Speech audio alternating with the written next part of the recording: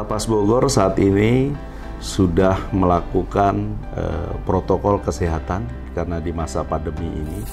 Namun demikian bukan hanya protokol kesehatan yang eh, dilaksanakan di Lapas Bogor ini, tapi juga setiap pengunjung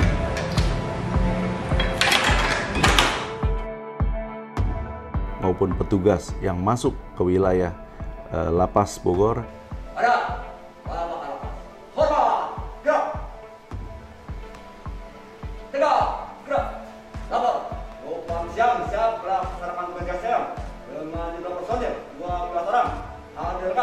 Isi pengelola lapas 780 orang. Di luar lapas 30 orang. Di dalam lapas 750 orang. Alat internet lengkap. Lapas keadaan aman dan kondusif. Siap melaksanakan tugas selanjutnya. Terima kasih, tetap waspada dan melakukan tugas. Laksanakan. Laksanakan. Ada. Bapak Kalapas. Hormat. Gerak. Tegak. Gerak. dilakukan penggeledahan badan dan juga penggeledahan barang bawaannya dan juga pengecekan suhu badan. Ini eh, akan bisa memastikan bahwa setiap pegawai atau petugas atau eh, masyarakat yang masuk ke lapas dalam keadaan aman dan sehat.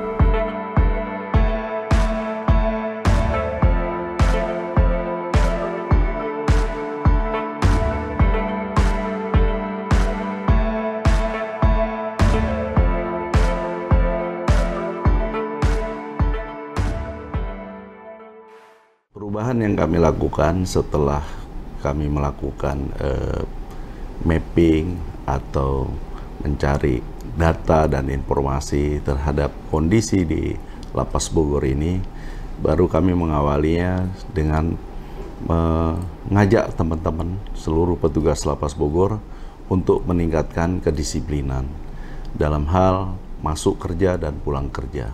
Karena itu modal sebagai ASN untuk mengecek kesiapan petugas dalam memberikan eh, pelayanan kepada masyarakat. Secara umum sebagai petugas lapas kita wajib melakukan deteksi dini. Deteksi dini dimaksudkan untuk bagaimana kita bisa mengantisipasi segala kemungkinan apa yang akan terjadi di lapas ini, contohnya gangguan keamanan. Dengan kita melakukan deteksi dini, kita bisa eh, mencegah masuknya handphone di dalam blok dan juga tentunya secara makro yaitu mencegah peredaran narkoba beredar di lapas Bogor ini. Eh, handphone ini penggunaannya harus disesuaikan dengan keperluannya. Kalau seandainya warga binaan jelas itu dilarang oleh eh, aturan ketentuan.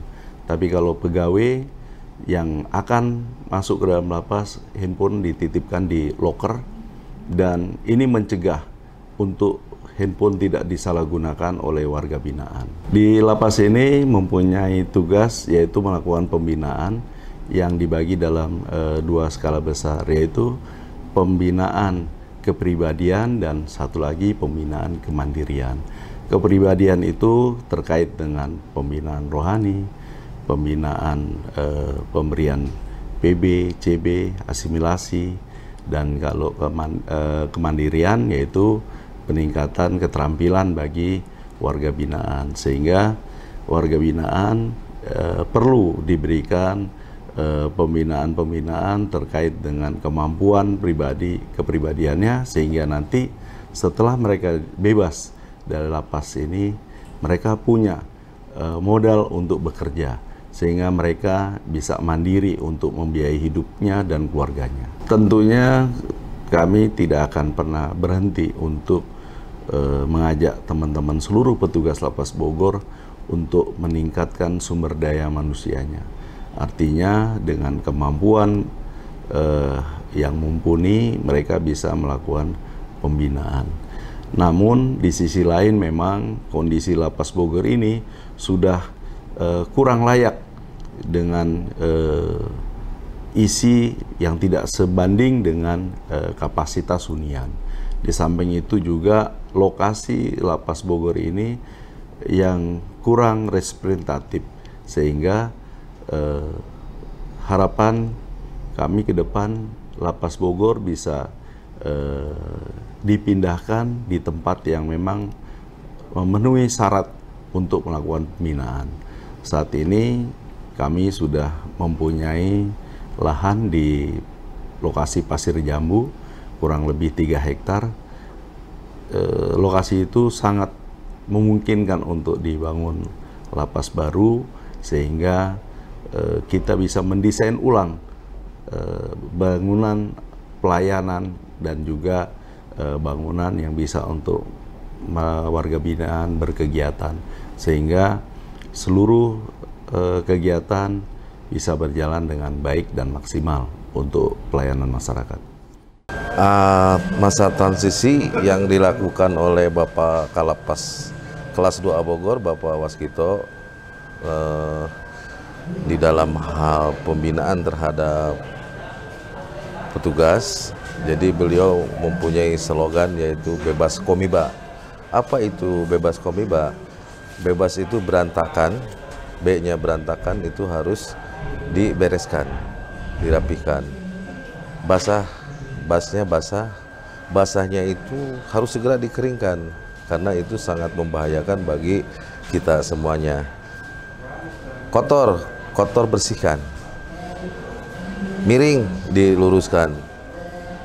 Dan bahaya, bahaya harus diamankan. Itu punya slogan dari Bapak Waskita Bapak Waskito selaku Kalapas kelas 2 Bogor terutama kepada eh, kedisiplinan petugas dalam hal apel pagi. Apel pagi alhamdulillah selama berada beliau di sini selalu semuanya petugas melaksanakan apel pagi jam 7.45 sudah lengkap semuanya. Tapi kalau ada yang tidak melaksanakan apel pagi, itu apel paginya diulang, yaitu pada siang hari sekitar jam 11 dan itu pembinanya adalah Kasubag TU atau juga KUR Kepegawaian. Kalau Kasubag TU-nya berhalangan, pakai KURW, Kepala Urusan Kepegawaian.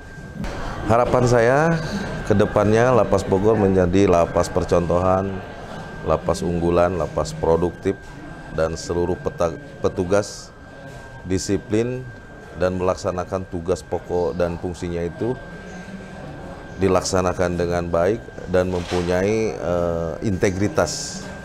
Jadi kami pasti gitu ya.